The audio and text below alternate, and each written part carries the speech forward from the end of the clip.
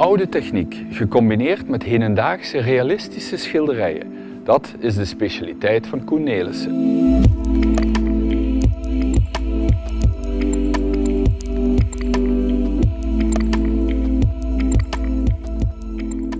Is geboren in 1952 in Mortsel bij Antwerpen en studeerde muziek en kunstgeschiedenis aan het conservatorium.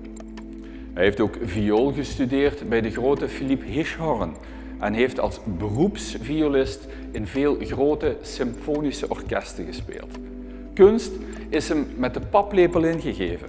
Zijn vader was onder andere filmrecensent en heeft hem de relatie tussen muziek en beeld bijgebracht.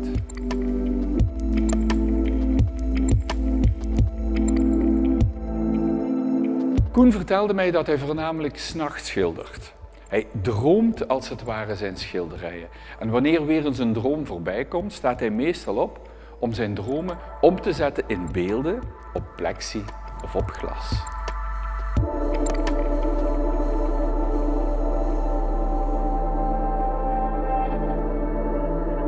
Zijn werk hebben vaak een relatie met muziek en film. Dit diptyque bijvoorbeeld is een stil, een fragment van de film Blind van Nick Balthazar.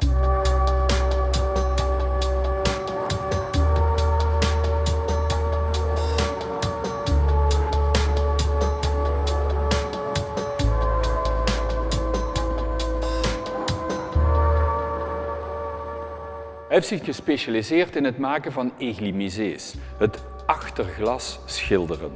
Een oude en zeer moeilijke techniek. Men moet namelijk in spiegelschrift schilderen.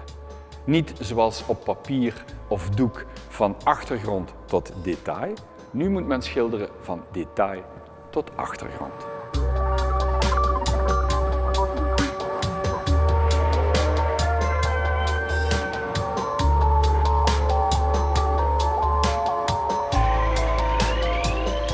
Grote inspiratiebron voor Koen is onder andere Pina Bausch. De in 2009 overleden balletchoreografe en met name haar voorstellingen. Vaak zie je dan ook portretten van Pina Bausch terug, maar ook fragmenten of stils uit haar uitvoeringen.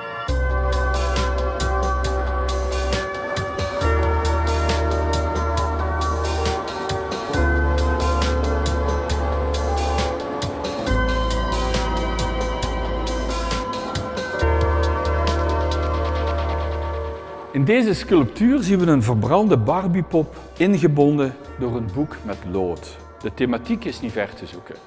Alles wat je ooit hebt meegemaakt, een, slechte gebeurtenis bijvoorbeeld, kun je blijven wegstoppen, maar het zal je altijd bijblijven. Je kiest er zelf voor hoe je daarmee omgaat.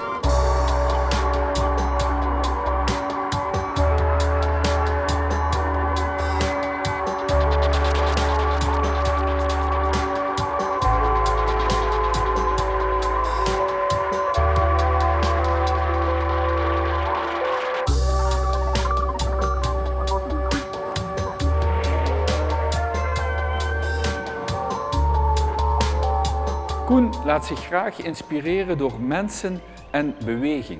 In feite onderzoekt hij hoe mensen zich gedragen. Hij is op zoek naar de psychologie in de mens. En deze zoektocht zet hij verder in zijn kunstwerk. Cornelissen Paintings and Sculptures, nog tot 9 maart bij de Eastman Gallery op de Zuivelmarkt in Hasselt.